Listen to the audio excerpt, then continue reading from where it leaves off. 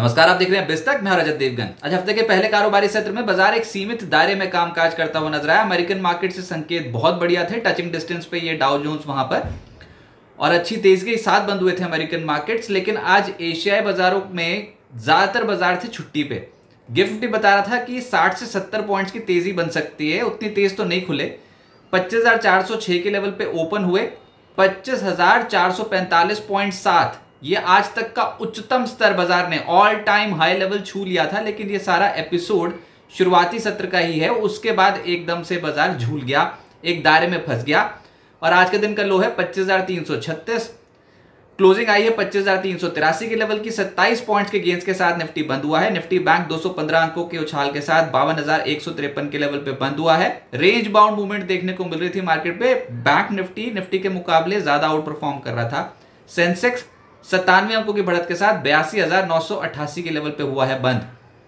लेकिन आज जो बाज़ार का हाईलाइट पॉइंट था, वो था बजाज हाउसिंग फाइनेंस की लिस्टिंग मच अवेटेड लिस्टिंग थी और जैसे ही शेयर लिस्ट हुआ, वैसे ही गदर मचा दिया। जैसे कि एक्सपेक्टेशन थी कि जो रिस्पॉन्स बजाज हाउसिंग फाइनेंस के आईपीओ को मिला है तो लिस्टिंग बहुत ही अच्छे प्रीमियम के साथ होगी।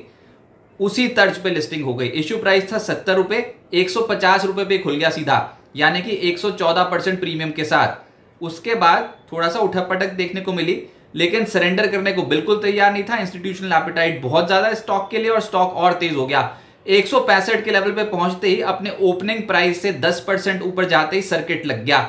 लेकिन इश्यू प्राइस से देखोगे तो 135.7 परसेंट के रिटर्न बजाज हाउसिंग फाइनेंस ने डेब्यू पे दिया। अब आप कह सकते हैं स्टॉक महँगा है लेकिन जो है, वो है, बाज़ार पे डिमांड इतनी स्ट्रांग देखने को मिली कि स्टॉक पे आज के सत्र में 10 परसेंट का अपर सर्किट फ्रीज हुआ ये स्टॉक एडवांसेस थे निफ्टी के 26 गिरने वाले थे 24 लेकिन सबसे तेज हुआ, वो था एनटीपीसी ढाई परसेंट ऊपर, फिर जेएसडब्ल्यू स्टील और हिंडालको जैसे स्टॉक्स तेज हो गए. मेटल स्टॉक्स में ट्रैक्शन पिछले कुछ दिनों में अच्छा देखने को मिल रहा है.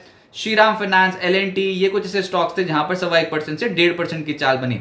निफ्टी लूजर्स में बजाज फाइनेंस अब देखिए, ये आयरनी है कि बजाज हाउसिंग फाइनेंस तो आज के सत्र में अपर सर्किट पे खड़ा है, लेकिन जो पेरेंट है बजाज फाइनेंस बजाज हाउस बजाज फिंसर्व उस दोनों स्टॉक्स में आज के सत्र में गिरावट देखने को मिली है। तो बजाज फाइनेंस आज सवा तीन परसेंट नीचे बजाज फिंसर्व दो परसेंट नीचे।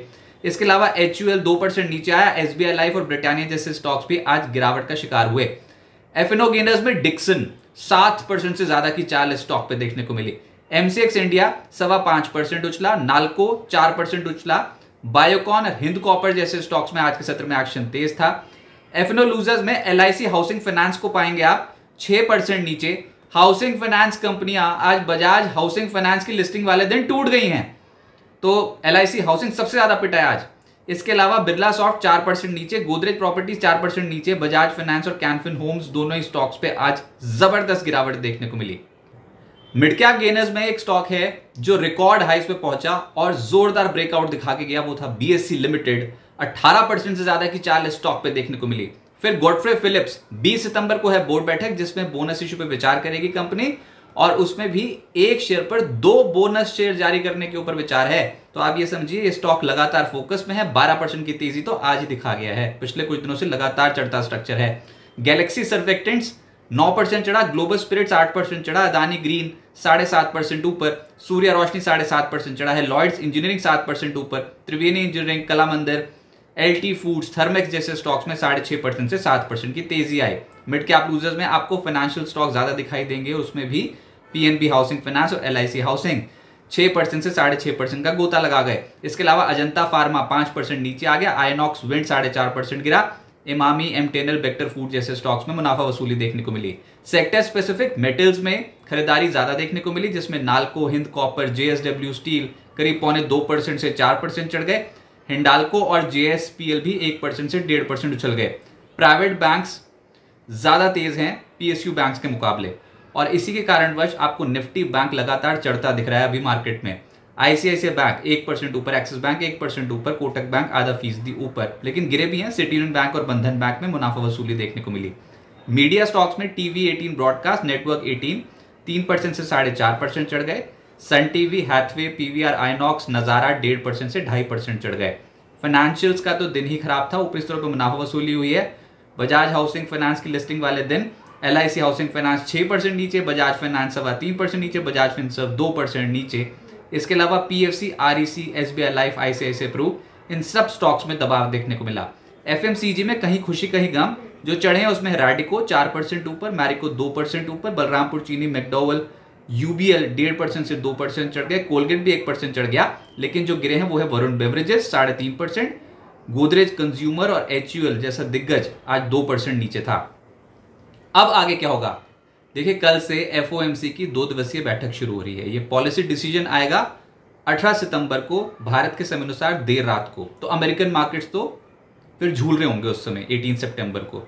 लेकिन हमारे बाजारों पे इम्पैक्ट पड़ेगा निफ्टी की वीकली एक्सपायरी वाले दिन नाइनटीन सितंबर को, गुरुवार को। और तमाम एशियन मार्केट्स पे इम्पैक्ट पड़ेगा। तो ये जो अब क्रूशल एक इवेंट के सामने खड़ा है मार्केट तो आप ये समझिए तूफ़ान से पहले शांति है। और बाज़ार बिल्कुल एक सीमित दायरे में फंस गया है पिछले दो ट्रेडिंग सेशन से। कोई भी बड़ी तेज़ी आ रही है तो मुनाफा वसूली हो रही है और इंट्राडे ट्रेड्स लेने बहुत मुश्किल हो रहे हैं। हाँ आपके पास पोर्टफोलियो में बीएससी लिमिटेड जैसे स्टॉक्स थे तो बहुत ही अच्छा रिटर्न दे गए। गॉडफ्रे फिलिप्स वाले जैसे स्टॉक्स बहुत ही अच्छा रिटर्न दे गए, लेकिन कुछ चुनिंदा स्टॉक्स में खरीदारी डेफिनेटली देखने को मिल मिल रही है आज, इस समय मार्केट में। अब यूएस फेड का डिसीज़न ज़्यादातर जानकारी मान के चल रहे हैं कि ये होगा कि 25 बेसिस पॉइंट्स का कट इस बार होगा, लेकिन उसके बाद दो पॉलिसियाँ और आनी है इस साल। तो US Fed chair Jerome Powell की कमेंट्री बहुत इंपॉर्टेंट होगी इस बार कि वो फ्यूचर इंटरेस्ट रेट आउटलुक के ऊपर क्या टिप्पणी करते हैं। बाज़ार उसको बहुत क्लोजली वॉच करेगा यूएस मार्केट्स की चाल पर पहनी नज़र है। फिर दो सेंट्रल बैंक्स और हैं जो कतार में हैं, वो है बैंक ऑफ़ जापान और बैंक ऑफ़ इंग्लैंड इन दोनों की भी पॉलिसी इसी हफ़्ते आनी है। तो तीन बड़े सेंट्रल बैंक्स के पॉलिसी डिसीज़न से पहले बाज़ार सरपट दौड़ जाए, ऐसा हो नहीं सकता था तो बाज़ार में कंसोलिडेशन देखने को मिल रही है। अब एक रेंज में तो है, लेकिन ये भी समझ में आता है कि जहाँ पर अभी आप खड़े हो, पच्चीस हज़ार चार सौ, पच्चीस हज़ार चार सौ पचास, यहाँ पर बुल्स और बीयर्स के बीच में तगड़ी टक्कर है। क्यों हम बोल रहे हैं? क्योंकि आप ऑप्शंस कंसंट्रेशन देखिएगा। पच्चीस हज़ार चार सौ के लेवल पे पुट और कॉल राइटर्स दोनों ही एग्रेसिव हैं। कॉल राइटर्स थोड़े ज़्यादा एग्रेसिव दिखते हैं। हायर साइड पे इसलिए बाज़ार जा रहा है तो थोड़ी प्रॉफिट बुकिंग हो रही है।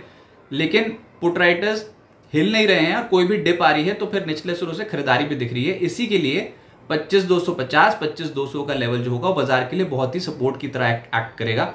हायर साइड पे ऑब्वियसली अभी तक आप पच्चीस चार सौ पचास के ऊपर कन्विंसिंगली निकल नहीं पाए हो तो ये लेवल एक रेजिस्टेंस की तरह एक्ट कर सकता है। कुछ रेजिस्टेंस लेवल्स अभी आप नोट कर लीजिए पच्चीस चार सौ पचास पच्चीस पाँच सौ तीस पच्चीस पाँच सौ नब्बे ये इंपॉर्टेंट रेजिस्टेंस लेवल रहेंगे मार्केट के लिए। और जैसे बताया कि क्रूशियल सपोर्ट लेवल रहेगा पच्चीस तीन सौ, पच्चीस दो सौ पचास। लेकिन इस बार निजी बैंकों में ज़्यादा खरीदारी दिखाई दे रही है और इसी के कारण आप देख रहे हो हायर लोज की फॉर्मेशन आपको बैंक निफ्टी पे दिखाई दे रही है। बैंक निफ्टी रिलेटिवली पिछले दो ट्रेडिंग सेशन से निफ्टी के मुकाबले तेज चल पड़ा है। तो बाज़ार में गिरावट का मौका है और अब निफ्टी बैंक के जो रेजिस्टेंस लेवल है वो है बावन बावन हज़ार तीन सौ चालीस और बावन हज़ार पाँच सौ पचास। ये इंपॉर्टेंट रेजिस्टेंस लेवल रहेंगे और ऐसा लग रहा है कि बावन हज़ार इक्यावन नौ सौ के जोन को प्रोटेक्ट करने की कोशिश करेगा निफ्टी बैंक तो थोड़ा असमंजस की स्थिति होगी। ये बाज़ार प्रूव कर रहा है कंसोलिडेशन वाला फ़ेज़ इसलिए क्योंकि एक बहुत बड़े इवेंट के पहले आप ट्रेड कर रहे हो तो ओवरनाइट पोजीशंस थोड़ी हल्की रखिएगा। और अगर कोई लेवरेज पोजीशन बनाए तो उतनी कैपेसिटी जितनी आपकी कैपेसिटी अलाउ कर रही हो, उसी अनुपात में बनाइएगा। बहुत मोटी लेवरेज पोजीशन इसमें बाज़ार में बनाने की बिल्कुल सलाह नहीं होगी।